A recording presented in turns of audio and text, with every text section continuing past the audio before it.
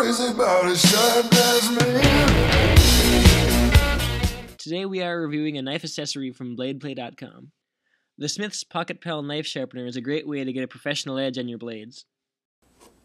We use the Pocket Pal to sharpen all the knives we review.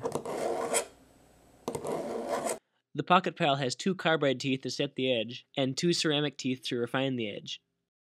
It also has a tapered diamond rod for serrated edges and gut hooks.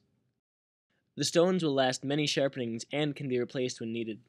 The Pocket Pal is nice because, unlike other sharpeners, it's very small and can be attached to a lanyard or keychain. You can get this sharpener and other knife accessories at bladeplay.com.